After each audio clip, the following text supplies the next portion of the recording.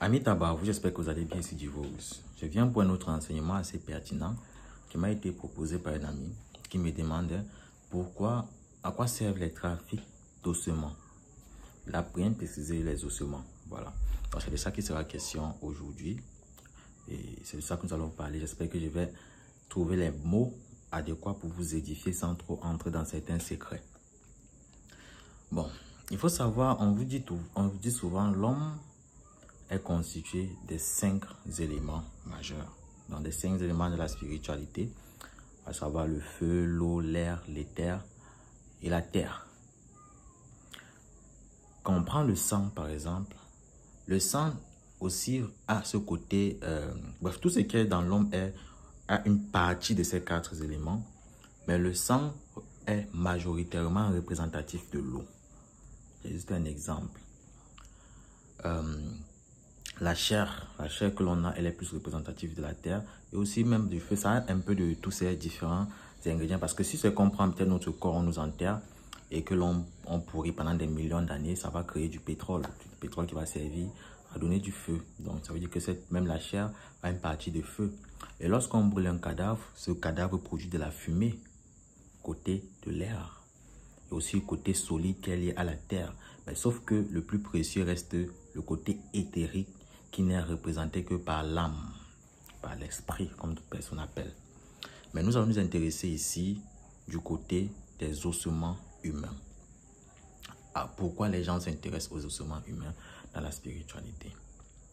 Il faut savoir que l'ossement humain permet de se connecter directement à l'âme ou alors à l'esprit de la personne à qui appartient cet os qu'il soit vivant ou qu'il soit mort. Donc, quand vous avez l'ossement de votre grand-père, par cet ossement, en prononçant certaines paroles, en faisant certaines offrandes, comme chez le peuple Baganté, le peuple Bamileke dans l'ouest du Cameroun, vous avez la possibilité de communiquer avec cet ancêtre-là. Même dans l'église catholique, nous, nous, savons aussi, vous avez même des images que dans l'église catholique, on conserve certains ossements, raison pour laquelle les ossements des pharaons sont précieux, sont conservés, sont, conservés comme des objets extrêmement précieux. Parce que par ces objets, on peut se connecter directement à l'âme de cette personne. Si cette personne s'est déjà réincarnée, là c'est encore un autre sujet, c'est un autre enseignement qui est encore plus vaste. Mais on va se concentrer sur le cas où la personne ne s'est pas encore réincarnée. Donc par cet ossement, vous avez la capacité de vous connecter directement à l'âme de la personne. Vous avez la capacité d'invoquer et même si vous êtes assez puissant et aussi d'évoquer l'âme de cette personne. Quand on parle des ossements humains, on entre déjà dans la nécromancie. Donc, il n'y a pas de, il n'y a pas de, de, de, magie, de, bref, de magie élémentaire, quoi, avec les ossements. Non. Les ossements humains et même certains ossements d'animaux rentrent déjà dans la nécromancie. Bon, mais c'est plus des ossements humains. Lorsque on fait un sacrifice, lorsqu'on fait un sacrifice, par exemple, d'un animal, Lorsque vous tuez l'animal, ce que l'entité recueille à ce moment, c'est l'énergie que l'animal dégage dans, la fraction de seconde qui sépare la vie et la mort. Parce qu'il faut savoir que dans la spiritualité, le présent, le temps présent n'existe pas. Parce que ce que vous allez appeler l'espace le, que vous appelez le présent peut être divisé à une infinité de, temps encore. Je vais prendre un simple exemple. Supposons aujourd'hui, nous sommes, nous sommes lundi. Voilà. Le présent d'aujourd'hui, c'est lundi. Mais sauf que cette journée de lundi euh, peut être divisée en 24 heures.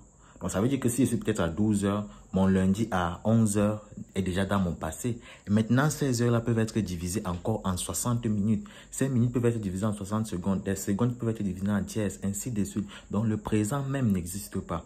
Pendant euh, pendant euh, le sacrifice, ce laps de temps qui sépare la mort de l'animal, la vie de l'animal à la mort, cette énergie que dégage l'animal ou alors la personne, on va aussi parler de ça, excusez pour ceux qui sont pour ceux qui sont un peu choqués, donc si vous êtes assez sensible, ne regardez pas cette vidéo.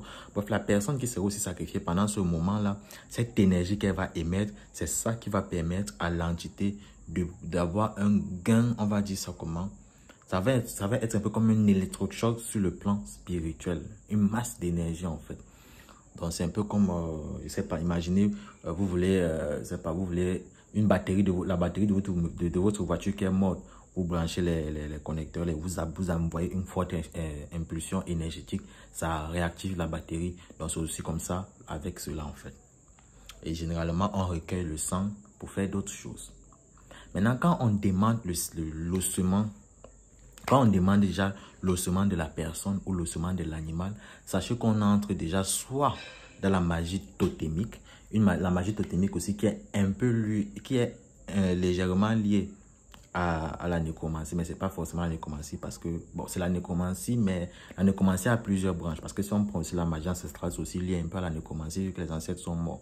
Bref, euh, mais quand on demande peut-être le totem, c'est là où j'étais, je vais éviter de me perdre.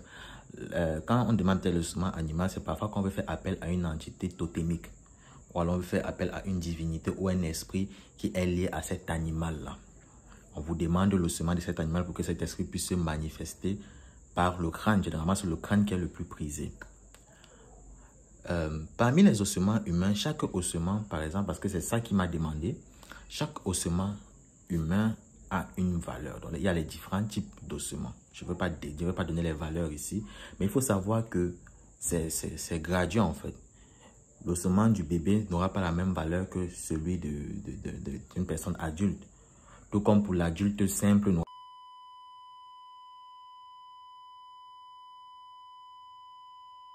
l'ossement d'un roi ou d'un président et tout.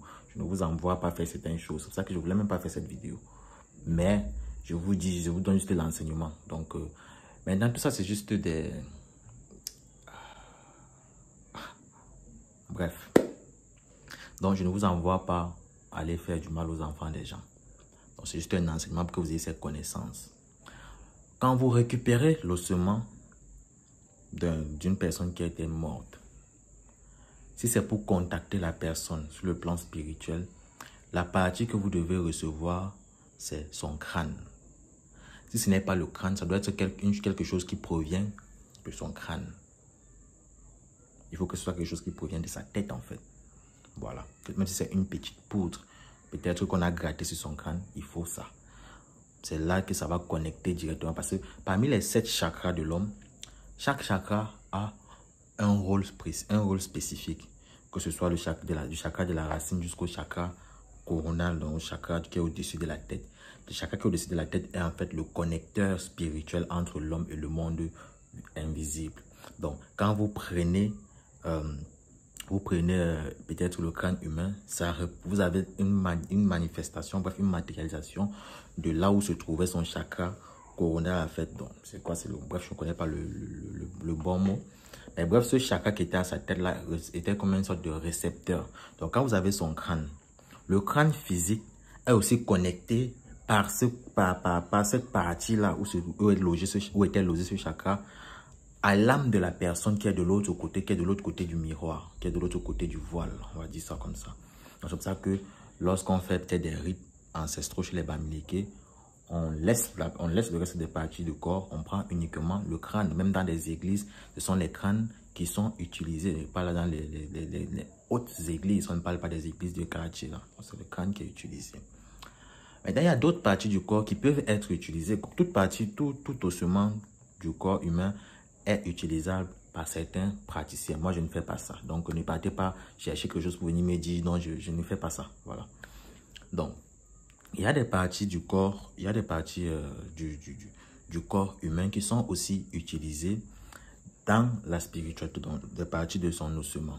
Toutes les parties sont utilisables, comme j'ai dit.